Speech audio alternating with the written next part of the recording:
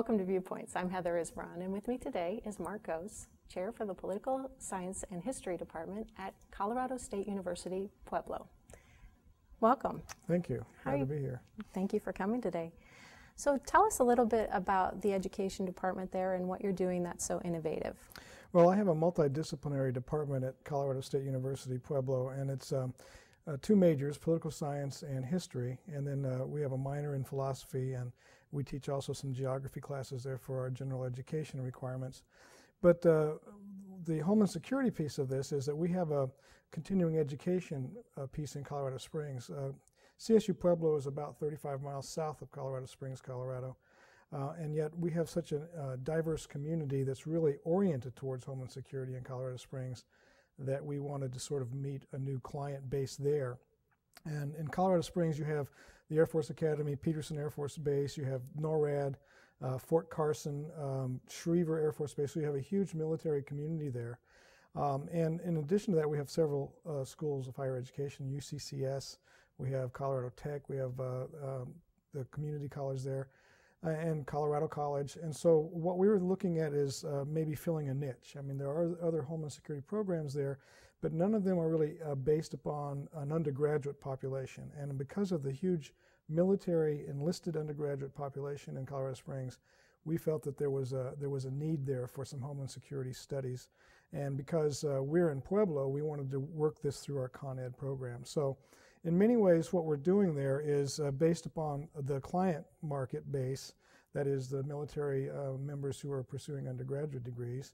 But at the same time, we also have very many professional and practitioners there uh, who have the expertise and the academic backgrounds to be able to teach the kinds of classes we thought were important. And again, through contacts that I and my faculty have with the Air Force Academy and others, Colorado College, uh, we have been able to, to put together a very high level uh, uh, series of scholars and, and practitioners and, and faculty members, some of whom are still teaching full time at the Air Force Academy or, or Colorado College, to be able to uh, provide some um, very important Homeland Security expertise to these students.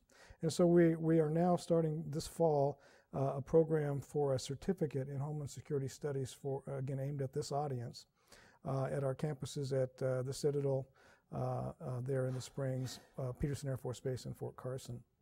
And so we really think it's going to be a great program. We're still sort of uh, consolidating uh, the number of credits and classes, but we do know there are going to be four uh, core courses in this.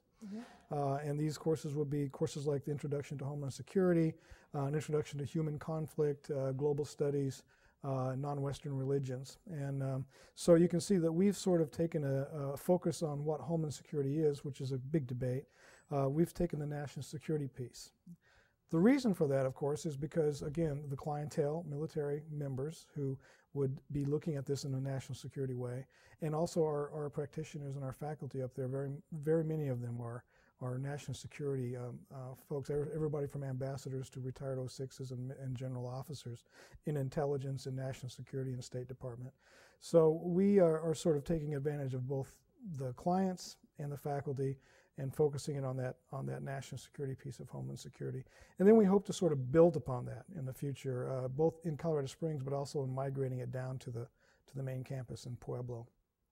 And so, as you've seen the Homeland Security uh, educational debate flow across the country, how has that evolved on your campus? Because you are serving primarily a military base. Uh, right. What well, is I mean, it that again, blends into a state and local focus or other other type of focus? Well, I think there there's a, there is a still a need in Colorado, especially in the last couple of years. Our major disasters in Colorado have been fire, uh, very much so, and then a couple of blizzards in the last couple of years that have have really brought back to focus the emergency response aspects, the first responder aspects of Homeland Security. So I think that's a need that we're going to have to all in Colorado uh, deal with. So the national security focus may be the foot in the door, uh, but at the same time, we're going to need to uh, to uh, provide our EM folks and our, our criminal justice folks, those kinds of folks, the kinds of of backgrounds and training and education that they're going to need in Homeland Security. Uh, and again, that's going to have to be done, I think, as a, a cooperative effort among all of the, the, the universities of, of, higher learning in, in Colorado. And, uh, and in fact, in this, this particular conference today and yesterday, uh, we've been able to start talking with uh, one of my counterparts is here from Colorado Tech, and we're, we're looking at trying to cooperate more in this homeland security, uh, and, and maybe even a consortium that we could could start in Colorado. So, by participating in our university and, and uh, agency partnership initiative, you've been able to make some more contacts even Oh, within your own state. Absolutely. And the other great, I think the, the other great thing that we've gotten out of this conference was to be able to see benchmarks out there for, for other similar certificate programs, so New Mexico State or California State, University of Sacramento. Uh, so we can sort of gauge and say, okay, where are we as a state of the art? Not, not, not only in content, and that is what is Homeland Security? Is it, is it all hazards? Is it national security? Whatever. But also, a, we're able to see, you know, numbers of credits and how many courses they're requiring for their certificate, and and I think it's going to allow us to to sort of tailor this to a to a field of study, state of the art across the country, which uh, I don't think anybody else is providing this kind of benchmark for us, and this that's the, the great utility of this conference to me. And let's go to accreditation for a moment. As you are developing these programs and you've been in uh, education for many years, how do you see Homeland Security accreditation rolling out? Well, um, in this conference, I've learned quite a bit that there there are similar obstacles that we have. I mean, uh, we're starting this program as a, as a what we call a non-credit certificate, only because we still have to go through the state required processes and and loopholes to be able to get to the credit certificate. But it gives us a way to sort of get it out there and start to teach the classes to anybody. And in our particular case, anybody can major in anything they just can get the certificate if they take this this curriculum uh, in a, in addition to their major courses. Uh, and so that's been a great help here to see how others are, are dealing with those kinds of bureaucratic aspects of getting this, uh, this these programs going.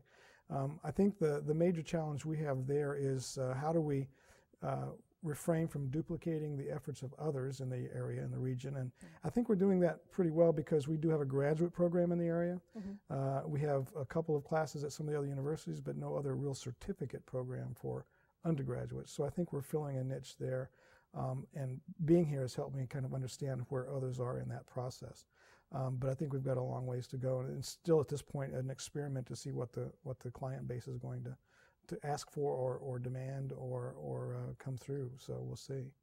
It certainly is an evolution. A- absolutely, absolutely.